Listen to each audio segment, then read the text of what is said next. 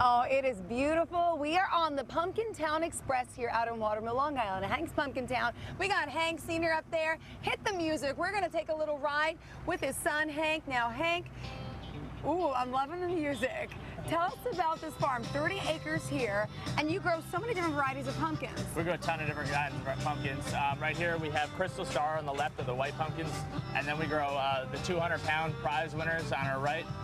Now, We when you say prize winner, is that a real variety of pumpkin? That is a variety of the pumpkin, and those are the biggest ones that we grow. How big do they get? Up to 200 pounds. Wow. Now, what about for like the regular folk like myself? What type of do we have here? So, uh, like the standard face pumpkins that we have right here, those are like the 20 pound uh, gladiator size pumpkin. Uh-huh. Then on the left there we have field trips, and that's just the, the standard like That's uh, the kid size. the kid size for the schools. So, how long does it take to grow a pumpkin? Like, when do you plant the seeds? We'll, we start planting in uh, the middle of June, Uh-huh. and then we start harvesting them, you know, early September, second Now, of so September. you, this is actually a you pick your own farm. This is a you pick farm here. We have 30 acres here at Pumpkintown, and you can pick your own pumpkins in the field here. But we also grow 55 acres of pumpkins that we do bring in as the season goes on. And I have to mention, a total of 350 acres this family has. That besides the pumpkins, we showed you some apple picking before.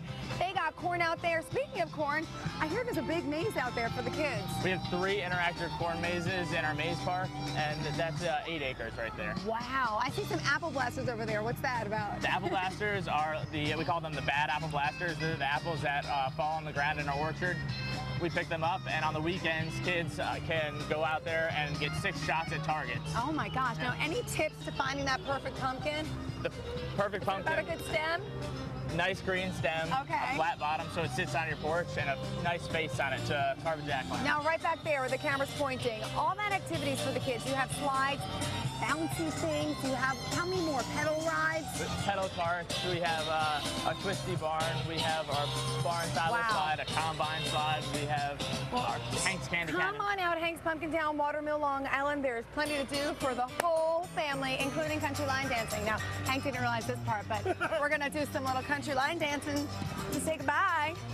Happy fall, everyone. Happy enjoy fall. the pumpkins, enjoy the apples, and come on, the Pumpkin Express. I love it. That takes some skill on a moving vehicle. Right? All right, nice. way to go, Jill.